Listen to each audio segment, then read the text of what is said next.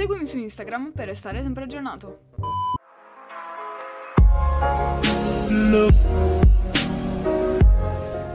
Ehi, se sei nuovo e non vuoi perderti nessun video, iscriviti al canale e attiva la campanellina per restare sempre aggiornato per i prossimi video. Hello bella gente, benvenuti in questo nuovissimo video, io sono Irene e oggi ci troviamo qui perché voglio parlarvi di una cosa che in realtà se mi seguite un po' avete già notato. Come vedete sul mio braccio c'è una Xiaomi Mi Band ed è il modello 3. Ora c'è il modello 4 sul mercato e uh, a detta di molti ovviamente è uh, parecchio migliore rispetto alla 3 perché ha delle nuove funzioni e tutto il resto. Non ho ancora avuto il piacere di provare la Mi Band 4 ma sono qui per fare un video riguardo la Mi Band 3 perché avevo già portato un unboxing che se non l'avete visto vi lascio nelle schede qui in alto a destra che potete andare a vedere. E quindi oggi voglio parlare della Mi Band 3 e se secondo me ha senso acquistarla nel 2020.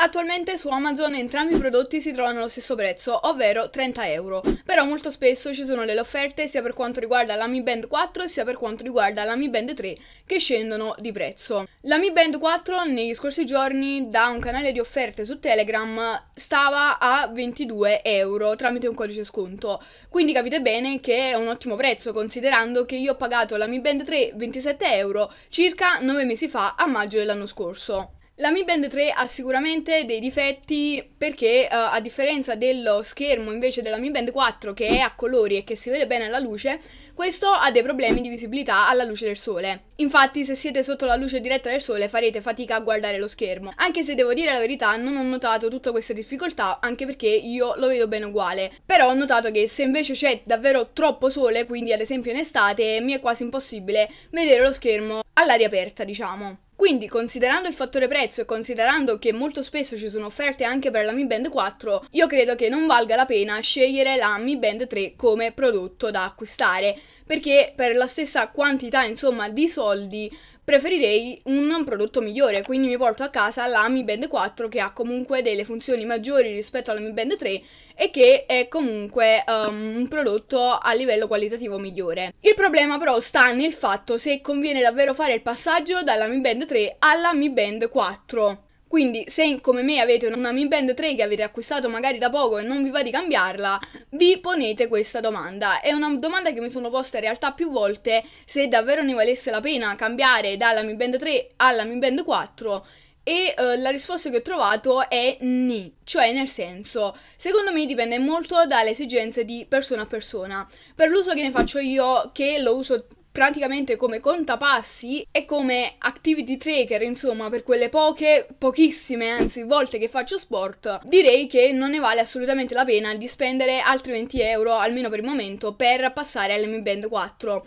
Sicuramente la Mi Band 4 è una funzione molto interessante che mi piacerebbe, ovvero quella di poter cambiare la musica, ma in realtà mm, non mi serve neanche troppo perché tanto io sto sempre con lo smartphone in mano, quindi non mi costa niente cliccare sullo smartphone o magari sull'auricolare che ho gli auricolari True Wireless quindi con un clic cambio brano o comunque lo metto in pausa e cose del genere. Quindi per me ovviamente non ha senso passare dalla Mi Band 3 alla Mi Band 4, però magari alcuni di voi potrebbero uh, voler fare questo upgrade, quindi dipende molto dalla persona. È una cosa molto soggettiva. Mentre per chi volesse acquistare una Mi Band e non sa quale scegliere tra la 4 e la 3, ovviamente a parità di prezzo è mm, consigliabile scegliere la 4, anche perché, come già vi ho detto, oltre alle funzioni ha anche uno schermo migliore che ha colori a differenza di questo che è bianco e nero e soprattutto si vede bene sotto la luce del sole. Ora però voglio sapere anche da voi che cosa ne pensate della Mi Band, se ne avete una, se ne volete comprare una e cosa ne pensate delle differenze tra la Mi Band 3 e la Mi Band 4 e se secondo voi vale la pena cambiare dalla Mi Band 3 alla Mi Band 4. E niente, io direi che con questo video ho concluso, fatemi sapere se volete vedere altri video del genere perché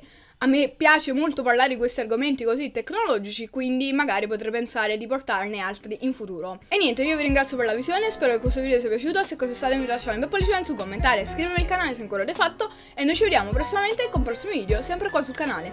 Bella!